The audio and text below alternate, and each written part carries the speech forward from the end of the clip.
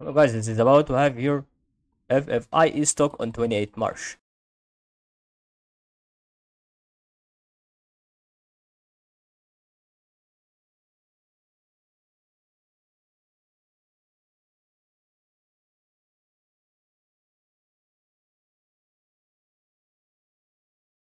As you can see guys about here, we will start to explain and produce FFIE through our opinion right now.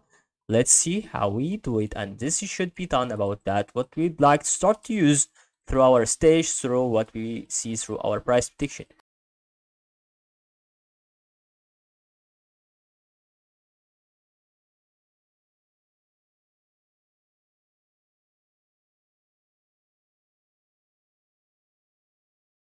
still really about no guys. We have to know that it's still about to use it. Very important stage to know why we have this kind of cycle through that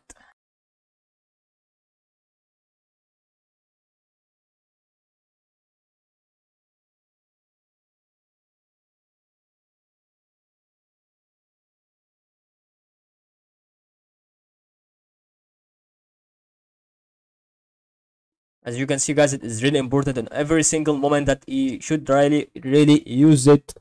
As you can really think about that through our opinion and literally it's not going to be bad at all to know that. So that is this really very important guys